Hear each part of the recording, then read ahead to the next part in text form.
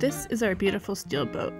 Or at least it was, before we found some pretty serious rust issues. And now, this is where she is. I'm Taryn, this is Logan, and this is Max. Our life rarely goes as planned, and this story is no different. But we are determined to rebuild our beautiful steel boat, even stronger than she was before.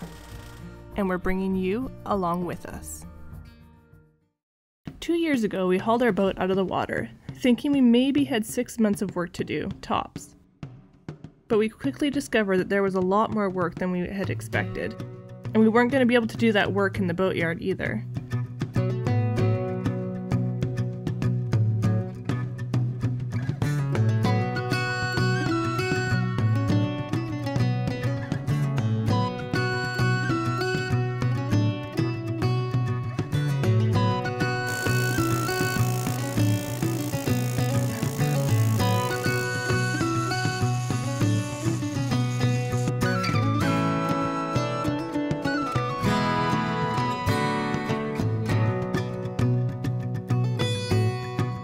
Moving the boat was going to be anything but easy thanks to flooding that knocked out every highway in the province.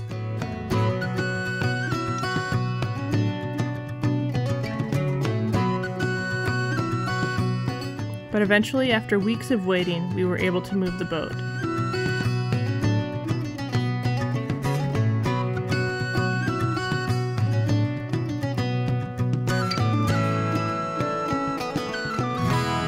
Have been in this boat shed ever since.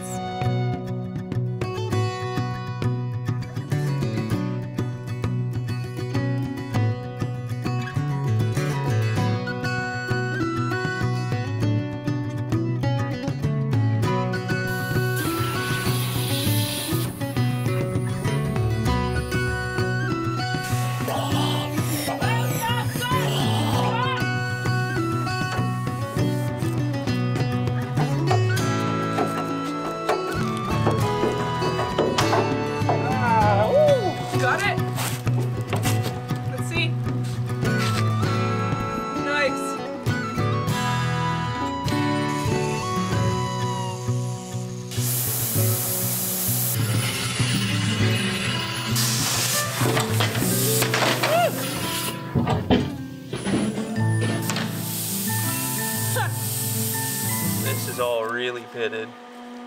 And then down in here, it's bad all the way along the bottom.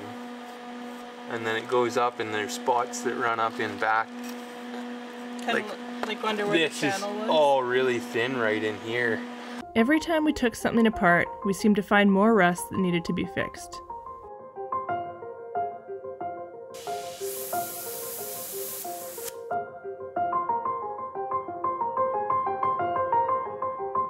But it also wasn't too long before some stuff started to go back together.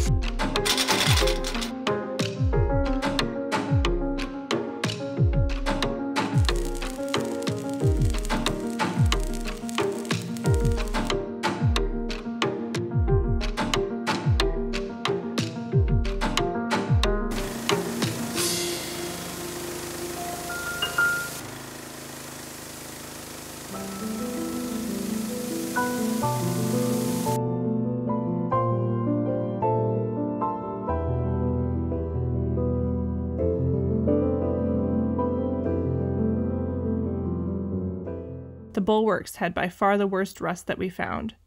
We had hoped that most of them could be salvaged, but we were not so lucky.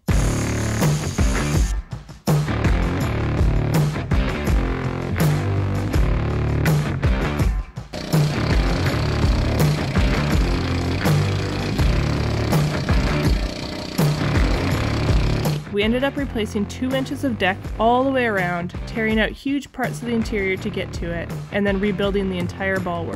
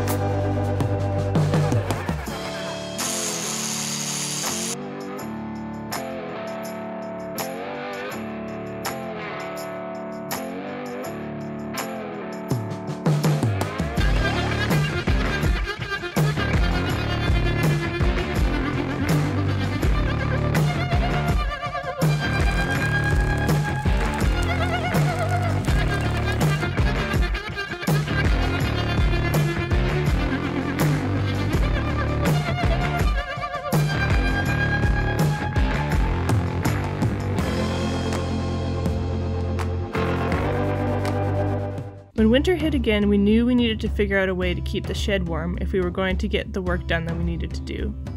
So we enclosed everything the best that we could.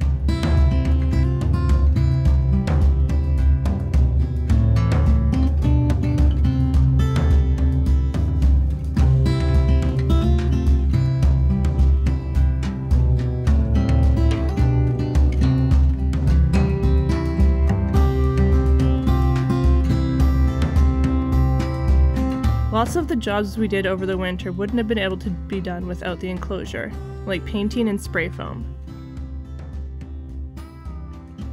And they needed to be done in order for us to move on to other projects.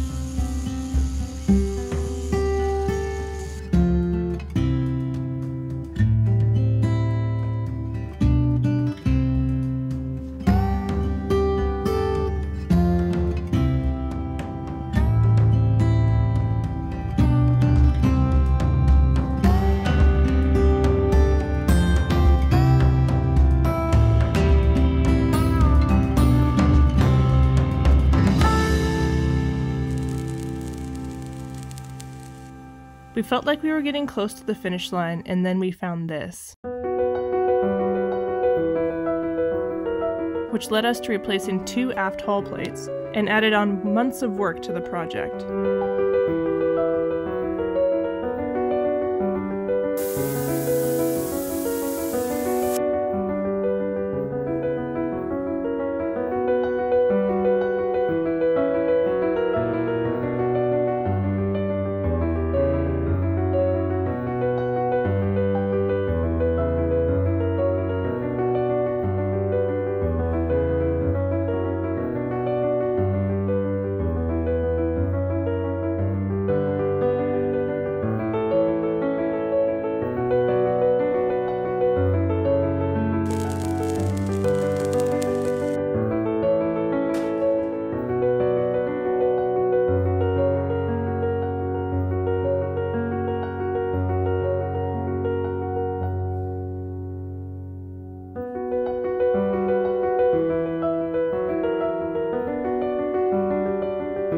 Once those were replaced, we had to take the engine out to replace the cutlass bearing and do some work in the engine bay.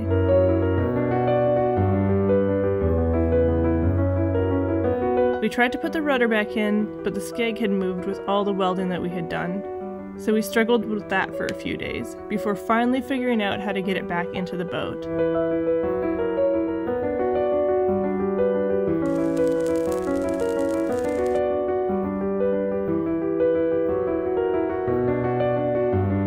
And then there was the water tanks.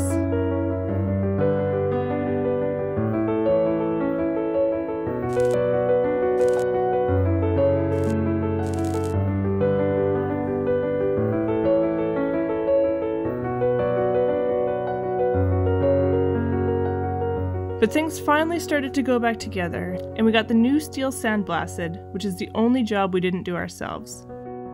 We got some paint on the boat,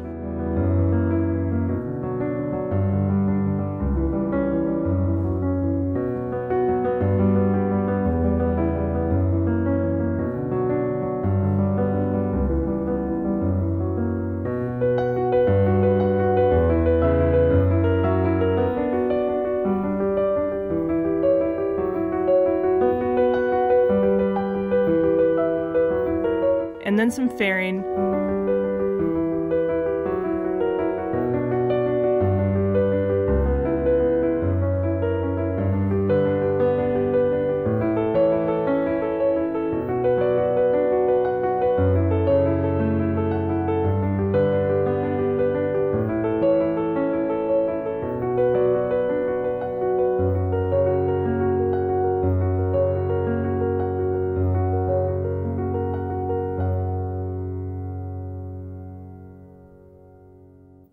And finally some more paint.